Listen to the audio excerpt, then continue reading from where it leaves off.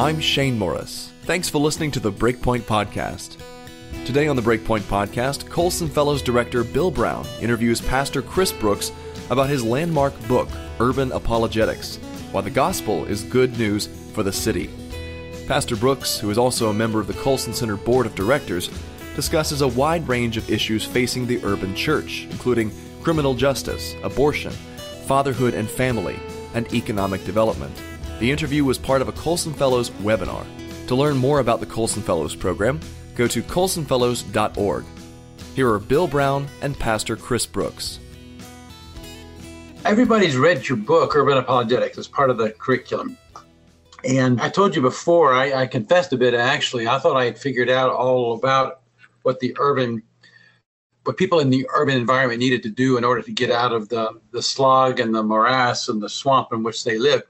Had all these policies, I had all these statistics, all these data, until I got involved with the inner city through various ministries and getting students involved and and so on. And I felt number one, I was embarrassed uh, by what I used to think. I was humiliated in some ways, actually, but I was so blessed by what I found by people there.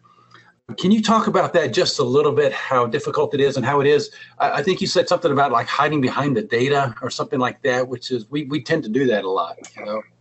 Yeah, well, you know, the reality is is that one of the things I'm most excited about, Bill, is the rise of scholarship uh, as it pertains to urban ministry. For years and years and years, urban ministry was uh, was happening, but I would argue not taken seriously. There were always those outliers that helped to uh, bring some attention to it. Ray Bakke being one, and John Perkins being another, but the number was small and few.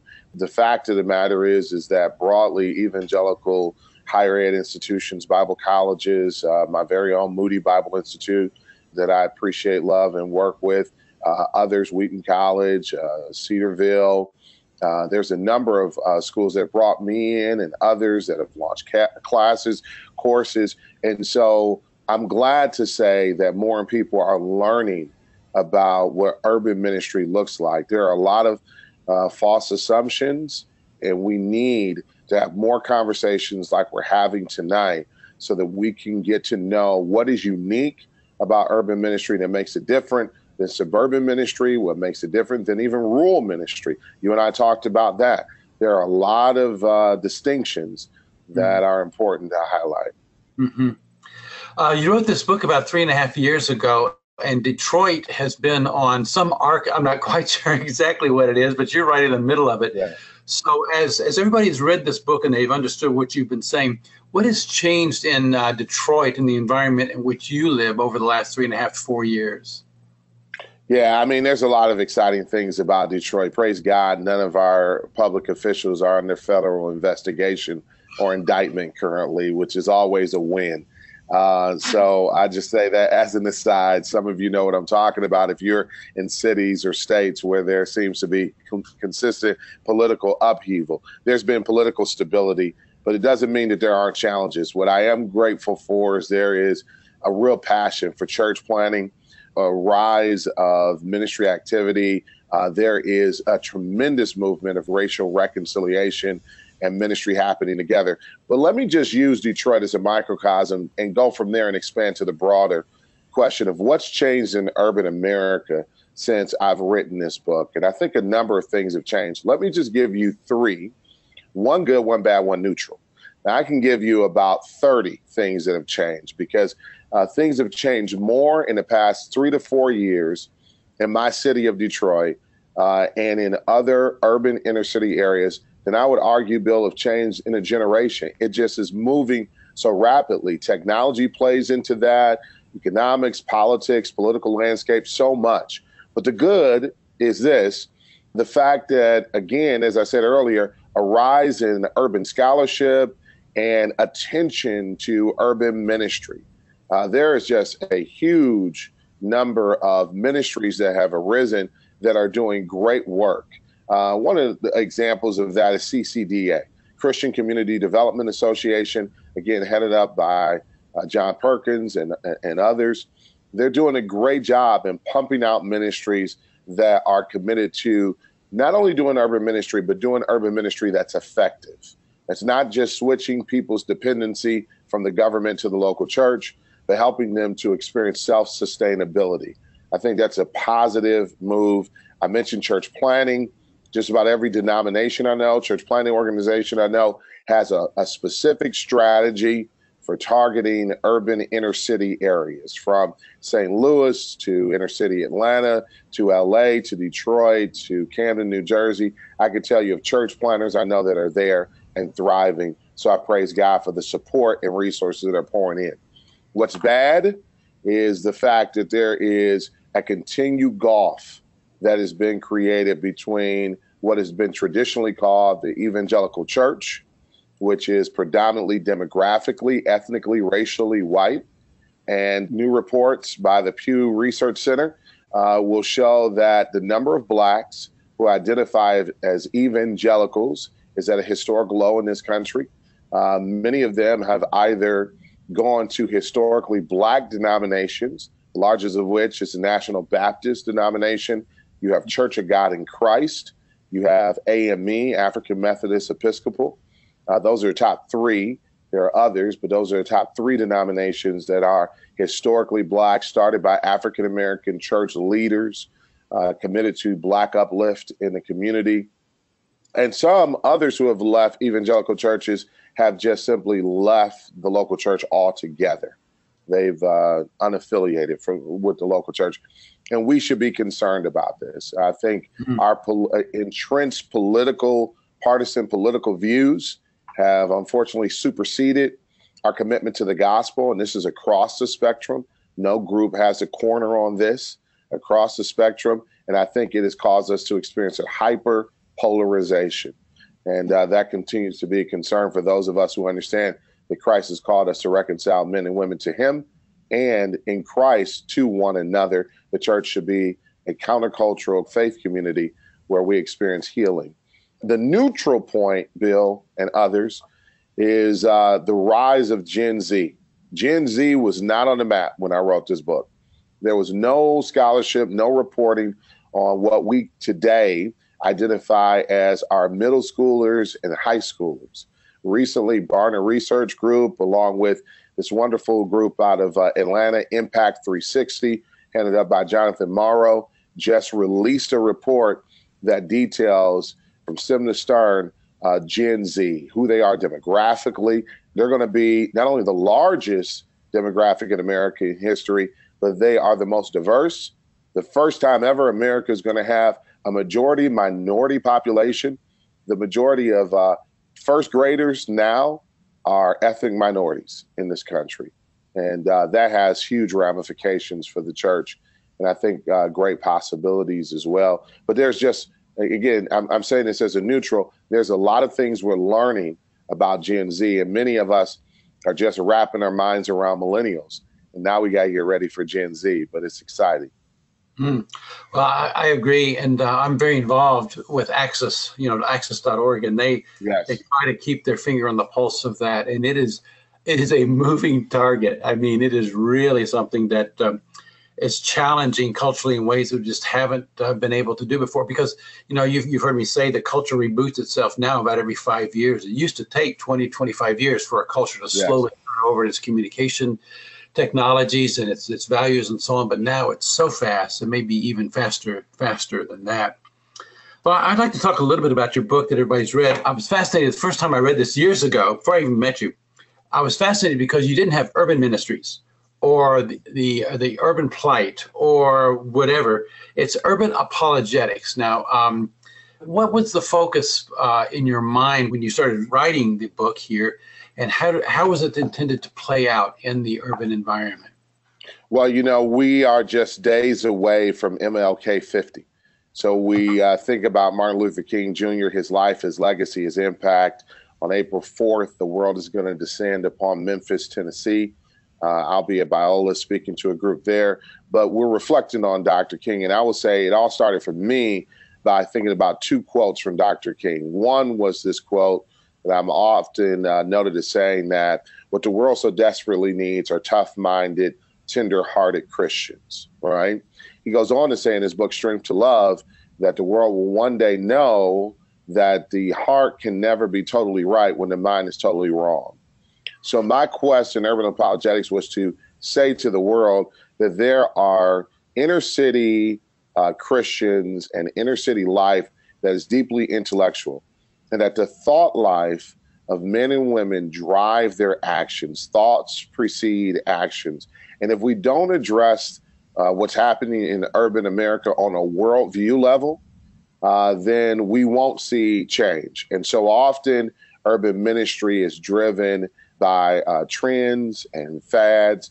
My hope was to be able to announce to the world that there was a lot of intellectual life that was there, and hopefully, our approach to ministry would not just be driven by trends and fads, but deep consideration of the thought life of what's happening among urbanites. Uh, I love the book uh, for that reason because you take specific issues that, the, in the larger sense, are different when they get into the microcosm of the urban environment. And uh, so let's look at a couple of those if we could. The first is uh, the issue of abortion that you wrote a chapter on.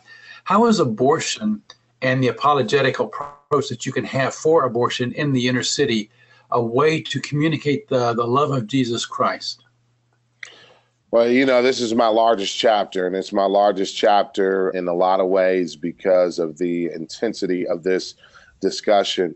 Um, the fight for autonomy for women is something that uh, transcends race in America in particular. And so much of the language of the pro abortion movement, pro choice movement, as, as its sense of freedom, liberation, uh, this again, quest for autonomy, a woman's right to choose or to have control over her own body. But I think this takes on a unique narrative among African American women when you add in the history of slavery, um, Jim Crow, the fact that women of color not only had to suffer the plight of all women, but the additional racial discriminations that came along with that. So you have to be sensitive to a group of individuals who have not had control over their own bodies for many, many years of American history.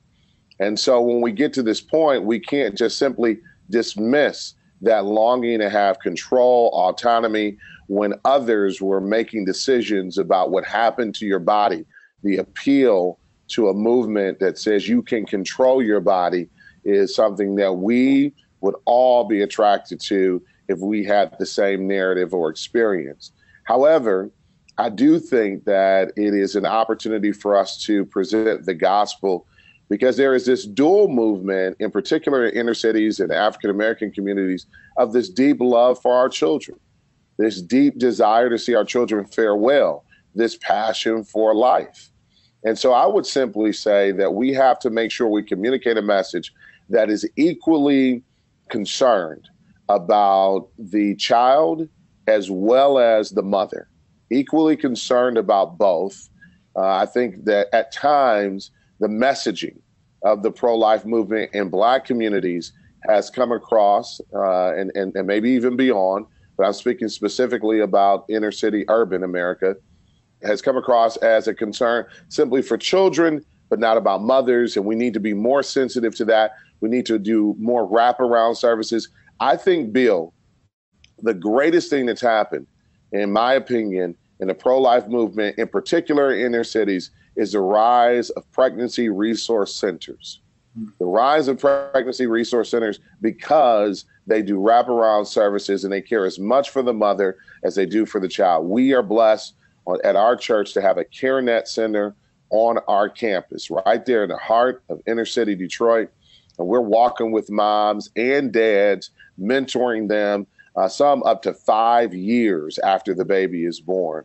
So we're really mm-hmm. excited about that. Um, but I would also say that we have to make sure we're, we're sensitive to what Dr. King said in his letter from a Birmingham jail. He says it's poor social analysis to only consider outcomes or symptoms without considering causal factors. And so we have to ask ourselves why are African American women, uh, women of color, Latino women, those in poor urban inner cities, why are they perpetuating abortion so frequently? And I think when we get to causal factors, we understand that There's a worldview here that has to be challenged from pulpits and in families. Uh, but we also have to also understand that economic conditions matter, educational opportunities matter. Those things matter in this whole equation. And then finally, I will say that we have to do deep analysis, Bill, on uh, who has the ear of uh, men and women in the inner city. And I will tell you that it's not just the pastor. If you're going to do an apologetic movement in the inner city, you better have barbers and beauticians on that list of people that you work closely with uh, because we believe in getting our hair done. And let me just tell you, I did years ago before I had kids. Those days are long behind me now. Uh, but I will say that you got to have barbers, you got to have beauticians, you got to have big mama on the plan, you, you got to have uncles, you, you got to have people who are social and cultural prophets, if you will, that have the ability to influence in ways that uh, I think are unique to inner city America. Shane Morris here again. I hope you're enjoying today's podcast. I want to let you know that we have Pastor Brooks' book, Urban Apologetics, available at our online bookstore. Simply come to breakpoint.org and click on Store. Of course, we'll link you to it as well from our podcast page. Now back to Bill Brown and Chris Brooks.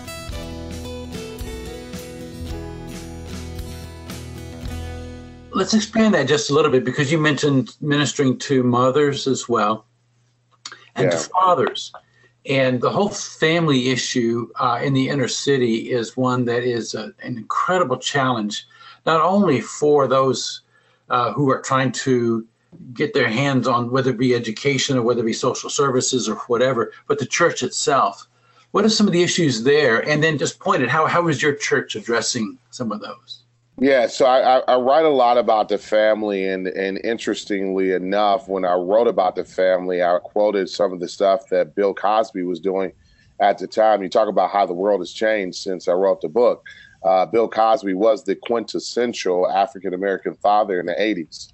This was the family that not only African Americans celebrated on the Cosby Show, but broadly America for many years running the Cosby Show was the picture of the American family a dad who was a doctor, a mom who was a lawyer, kids who made mistakes, but all mistakes were fixed in 26 and a half minutes every week.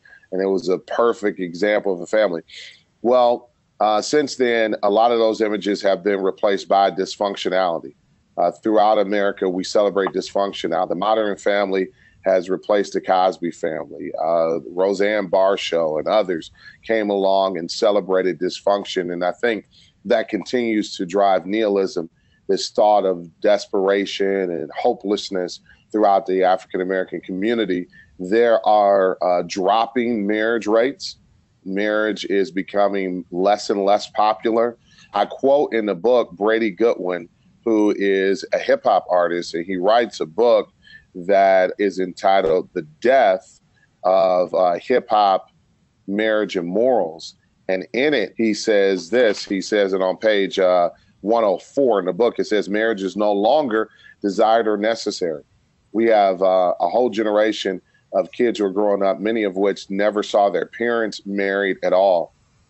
The neighborhood that I'm in, Bill, has a 70% female head of household without men that are there. So you're asking, what are we doing to address it? Well, a couple things that we're doing to address it. We are celebrating the rise of marriage ministries that are targeting people of color, ethnic minorities. There are so many ministries that are doing a great job. But discipleship is the simple answer. It is discipleship uh, at an early age, helping to take boys and girls and walking with them there are no quick fixes, and this is true across America. Uh, it's specifically true in the inner city. We like to say this, Bill, about inner cities that when broader America has a cold, the inner city has a flu. Uh, whatever mm-hmm. problem you have in uh, broader America, it seems to be exacerbated in the inner city. We also have to work at criminal justice reform because far too many uh, men of color are incarcerated that should not have been incarcerated. There were so many tough on crime laws that were passed that did more harm than good. Three strike policy is an example of that, where someone could go away for drug possession uh, for life after being caught three times. Uh, and, and what you found is that not enough data was done on the healthcare deserts that existed in urban America. So a lot were doing drugs and passing those drugs along uh, as a way of self medicating.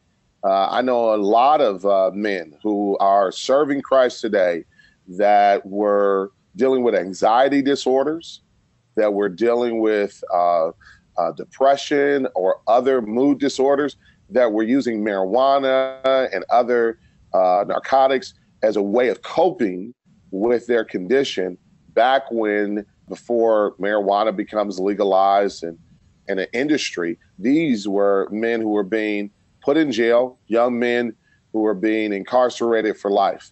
And so we have to analyze criminal justice. The other thing i will say about criminal justice reform is that we've created a permanent second class a permanent poverty class for those who've done their time who hopefully have come through the prison system and want to have a second chance at life. So one of the things we've opened on our campus at our church, Bill, is a transitional home for 26 men who are desiring a second chance at life. We're working with them to mentor them, disciple them, get them economic opportunities so that they can hopefully lead their families and be contributors to the church and to the community. And so I think discipleship is a big thing. Making the discipleship of men as husbands and fathers the centerpiece of the church, the call to disciple men as the centerpiece of the church. This is no slight against women, but if you want to bless women and children, you better start with blessing men. And uh, we're doing that by discipling them as a central focus of our church's agenda. Mm. You know, I, I was uh, speaking in high school in uh, in downtown Denver, actually. I'd been there for a while. We had a program there. I used to love going to the high school. Uh, it was a large, large class, and I asked uh, what were their dreams. These were all uh, high school seniors, juniors, and seniors. And uh, about half the guys wanted to be in the NBA. That was their dream. the NBA. That's what they were headed for. They, they thought. And most of the girls, the first thing they said was, "I want to have a baby." Hmm. And then life would go on, and then down the lo- the road maybe get married you know and so and yeah. uh, it was such an interesting thing where uh, everything seemed to be turned just a bit but nobody nobody flinched at all. It was just like yeah that's that's the those are the values of our culture. And you deal with that all the time. And so uh, when you talk about discipling men how how young how old do you do uh, your discipleship with them yeah, right there in North Carolina, one of our former elders of our church leads a national movement, Carlos Johnson, and it's called the Future Man Program. And he starts with young men uh, as early as age five, helping them to understand what family is, helping them to experience that, uh, helping them to have visions for the future, uh, giving them mentors that are husbands and fathers themselves so they can see positive role models. The beautiful thing about the Cosby Show is that it was a nationally recognized show. The bad thing about it is that it was on TV. It was fictional. There was no one to touch, no one to hold, no one to walk with.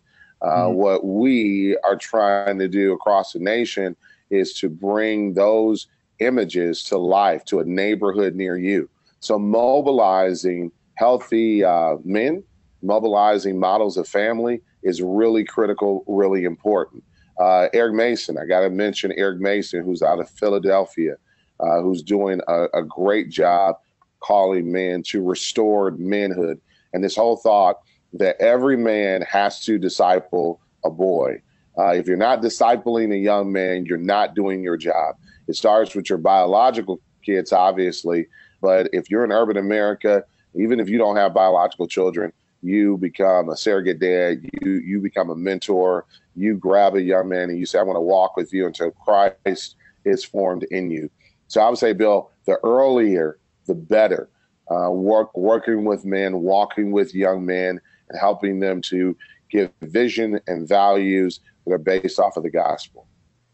And this is just a, a question that I hear from a lot of people, uh, believers who feel a real urge to be involved in the inner city, but say, what can a white woman, white man contribute to the ministry in the inner city? Yeah, the list is long. I, I would I would just encourage number one to start after you've read uh, Urban Apologetics to uh, make sure that you do two things, two other resources. Brian Fikkert's book, When Helping Hurts, is a very important book in this conversation. Uh, and then, secondly, I mentioned ccda.org, the Christian Community Development Association. Even if you just look at their core values, that will help you. I think there's a number of things that we can do. Number one, I would say have as great a love for missions in urban inner cities as we do for global missions.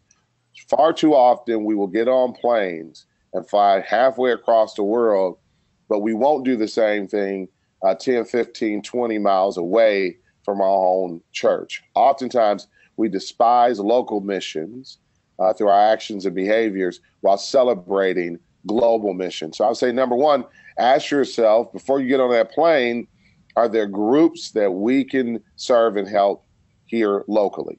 Secondly, everything flows from relationships. So those who are pastors, those who are business leaders, those who desire uh, to serve Christ should make as part of their relational plan to build relationship with great urban ministry leaders you can rally around. And if you know, I, I, have a number of those relationships. So if somebody wants to send me an email and say who's in my town, uh, you know, there are a number of people across America that you can connect with.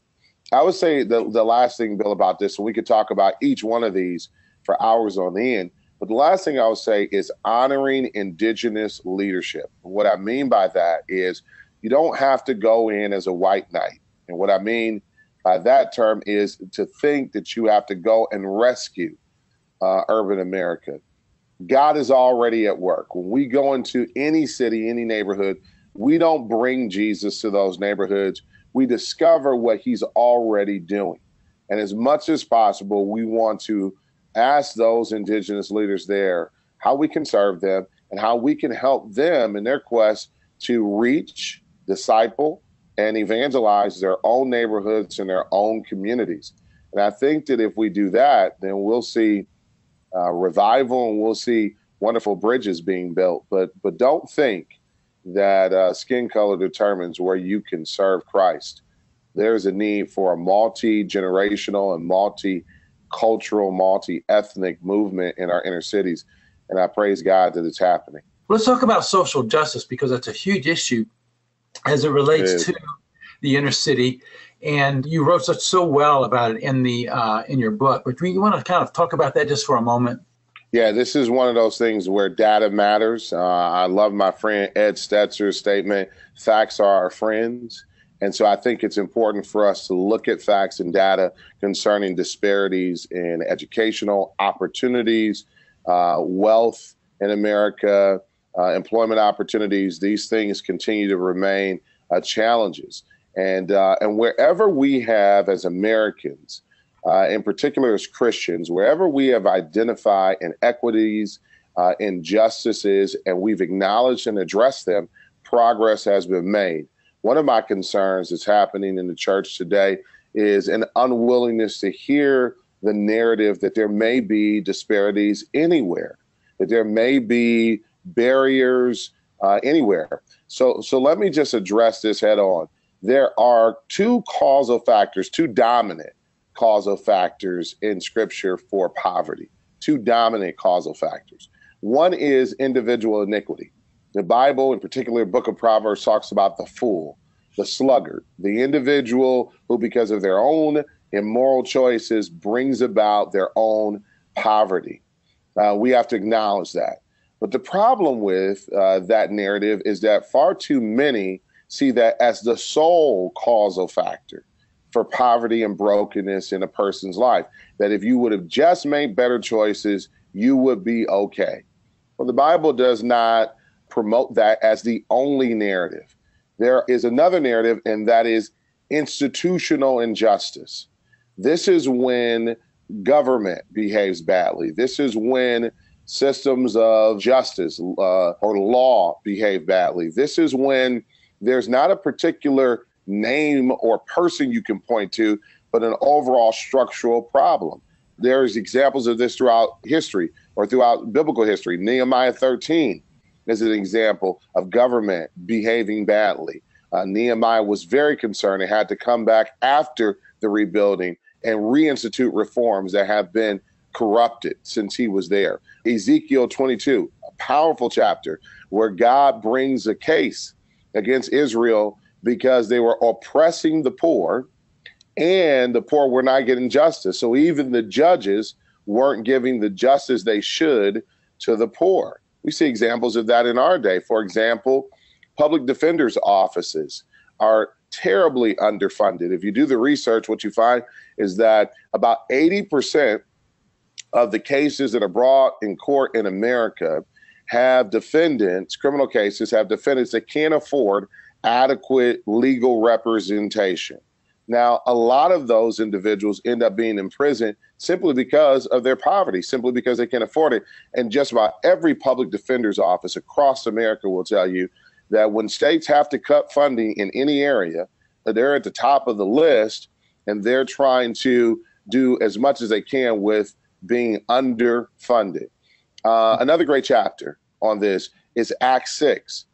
Acts chapter 6, we see the church growing and exciting, activity is happening, but a complaint rises among the Hellenistic Jews, who are ethnic minorities by culture, by custom, uh, to the Hebraic Jews that were in leadership, the apostles and others. And what was the complaint? It was a complaint about economic injustice. The complaint was that the widows, the Hellenistic widows, were not being treated equally in a daily distribution of resources.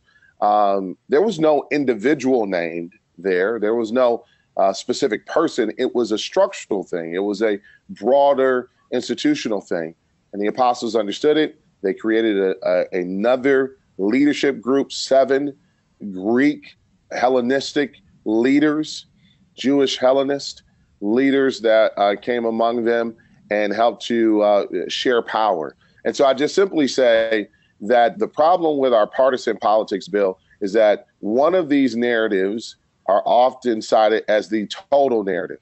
So you have those who will cite institutional injustice as the only problem in America that if we can fix institutions, there we will find our salvation. Well, that's not the gospel. Others will say it's all the individual needing to do better. Well, that's not the total picture either. We who are well informed biblical Christians have to acknowledge both causal factors individual mm-hmm. iniquity and institutional injustice, and we have to consistently address both.